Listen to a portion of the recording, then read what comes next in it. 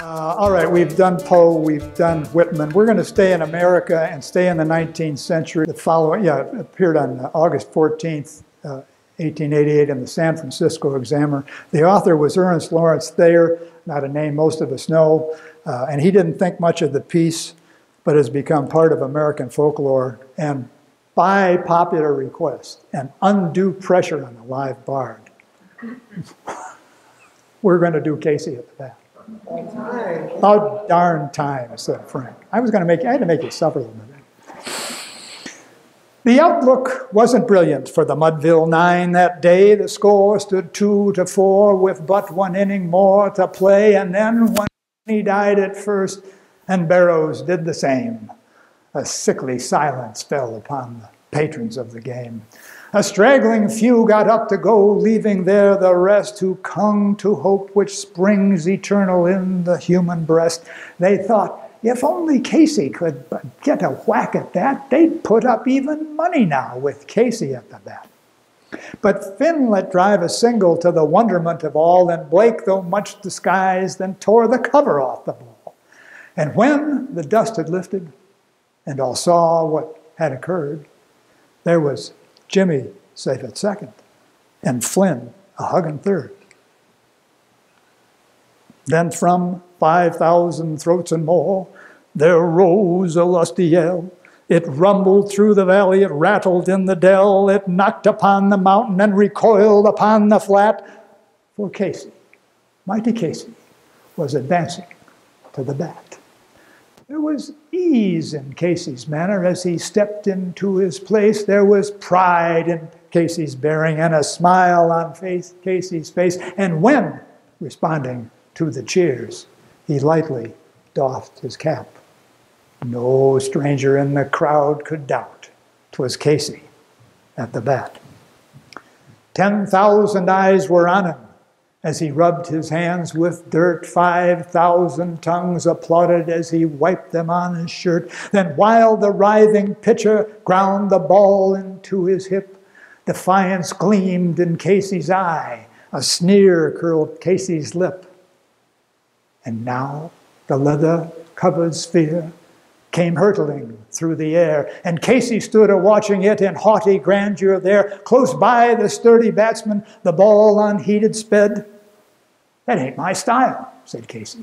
Strike one, the umpire said. From the benches black with people there went up a muffled roar like the beating of a storm waves on a stern and distant store. Kill him! Kill the umpire! shouted someone in the stands. And it's likely they'd have killed him had not Casey raised his hand. With a smile of Christian charity, great Casey's visage shone. He stilled the rising tumult. He bade the game go on. He singled to the pitcher, and once more the spheroid flew. But Casey still ignored it. And the umpire said, Strike two! Fraud, cried the maddened thousands. An echo added, Fraud. But one scornful look from Casey and the audience was awed. They saw his face grow stern and cold. They saw his muscles strain. And they knew that Casey wouldn't let the ball go by again. The sneer is gone from Casey's lips. His teeth are clenched in hate. He pounds with cruel violence his bat upon the plate, and now the pitcher holds the ball, and now he lets it go, and now the air is shattered by the force of Casey's blow. Oh, somewhere in this favored land, the sun is shining bright.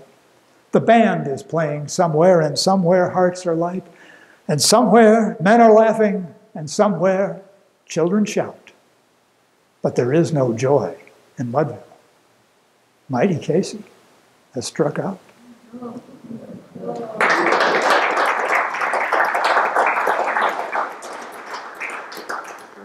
So last year I did this one and I said, well, I won't do these this year, and, and that was not acceptable. I have, to, I have to do this. So I'm going to do this one again. Casey's Revenge by James Wilson. There were saddened hearts in Mudville for a week or even more. There were murmured oaths and curses. Every fan in town was sore.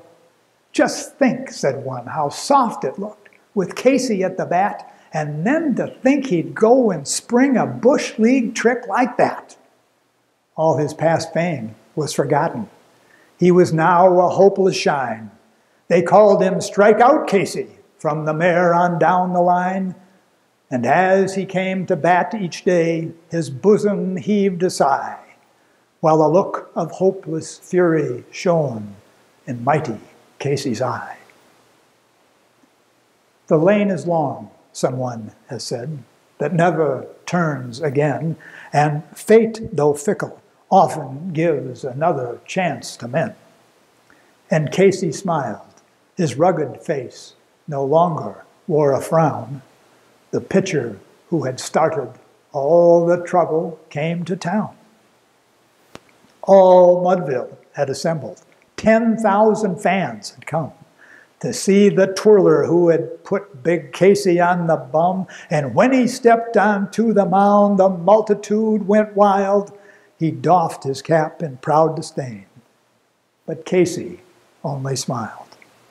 Play ball, the umpire's voice rang out, and then the game began. But in the throng of thousands, there was not a single fan who thought that Mudville had a chance. And with the setting sun, their hopes sank low. The rival team was leading 4 to 1.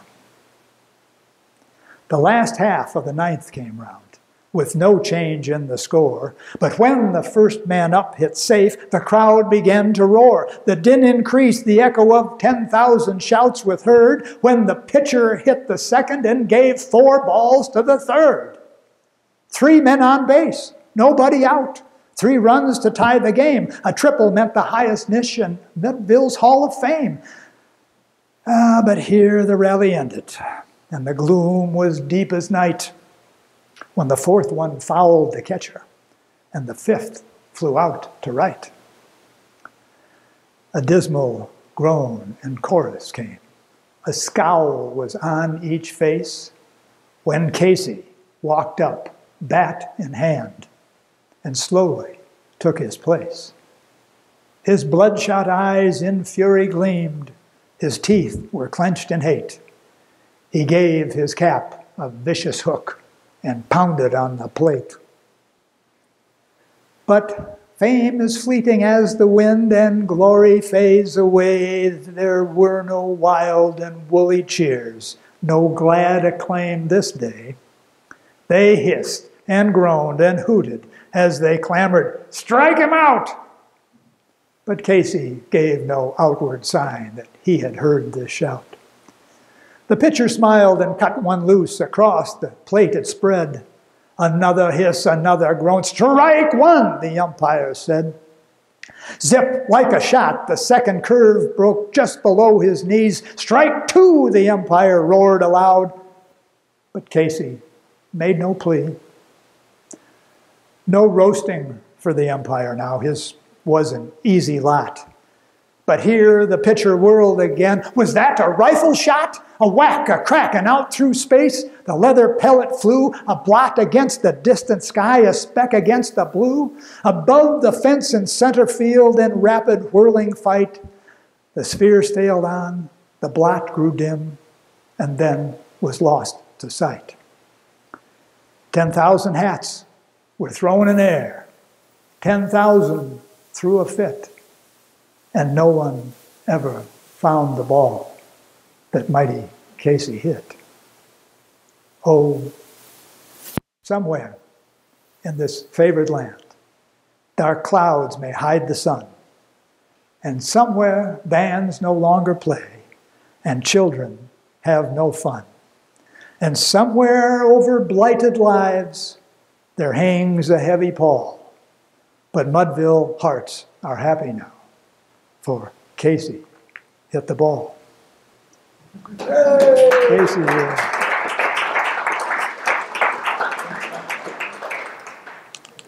At the risk of wearing out my welcome, we have the baseball trifecta tonight. A poem that I have not done. In fact, I've never, I've never performed this poem before an audience. So we'll see how it goes. Uh, a few words. Pallor, uh, a natural paleness from fear. The phrase, two pitchers in a field, and I'm tempted to say, well, the only thing pitchers are good for is throwing a fastball. But if you want them to run and you want them to hit, you know, at least historically, uh, mutt, not a dog, but a simpleton. Uh, to get spiked, I, as a uh, kid, used to wear half-inch metal spikes on the bottom of my cleats. And if you got spiked, you knew you were in for it. Um, break a thumb, a real, realistic proposition. As a 12-year-old, I was a catcher. And uh, the, you know, major leagues, the balls can almost get up to 100 miles an hour, over occasionally. But I mean, that sucker's got to be going at least 60 miles an hour when a, when a 12 year old is throwing a ball at you. Anyway, uh, imbued means infused, and dub means to award a, fish, and a, a uh, facetious title. I will tell you the story of this later, because this takes place in Bugville, supposedly.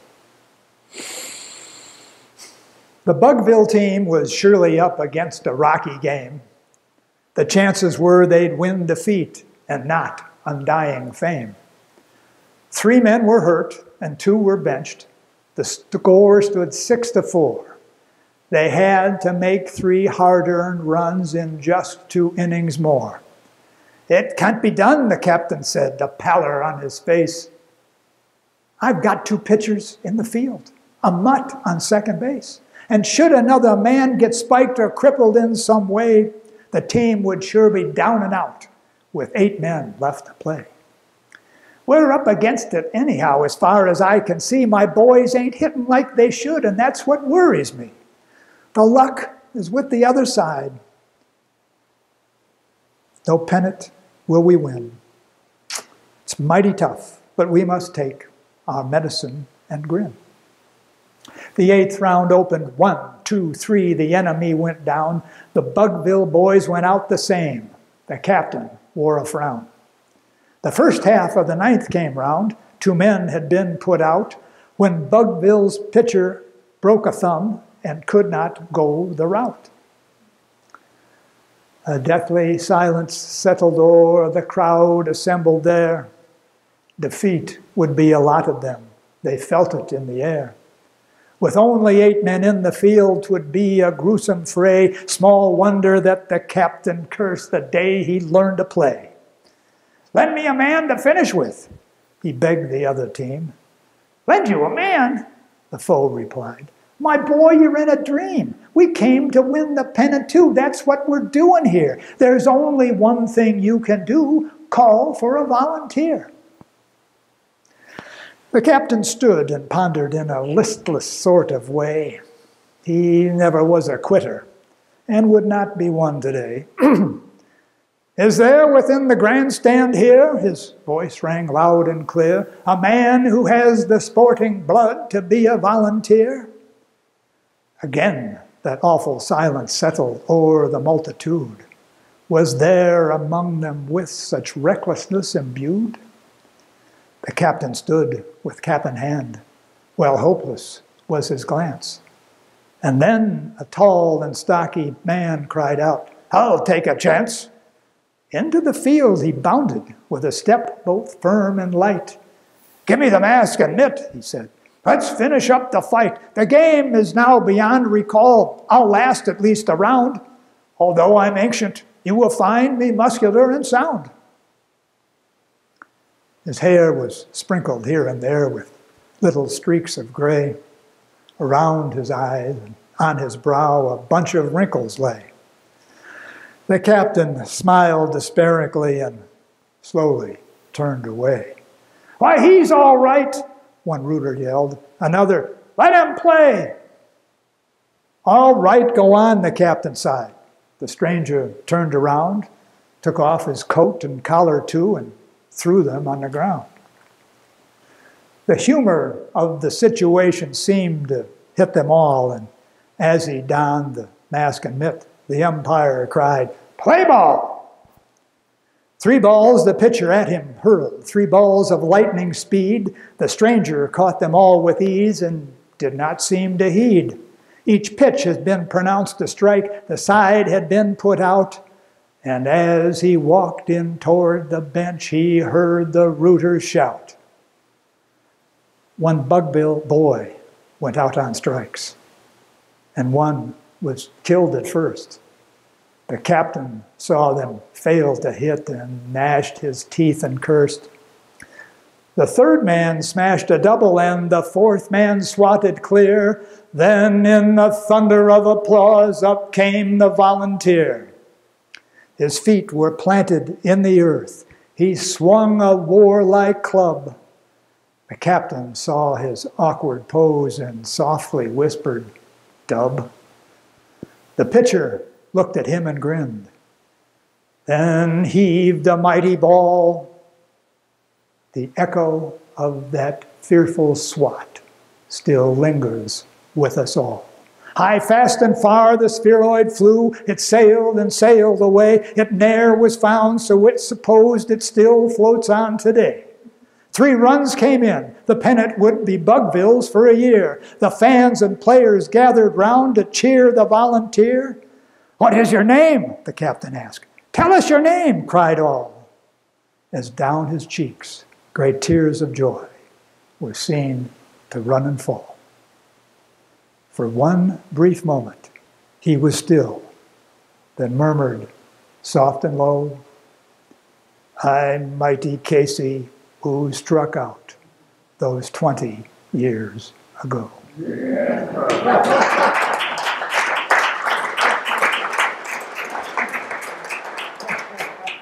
um, that, and I didn't tell you, is, is uh, Casey 20 years later, written in 1908 exactly 20 years after the original Casey had been produced.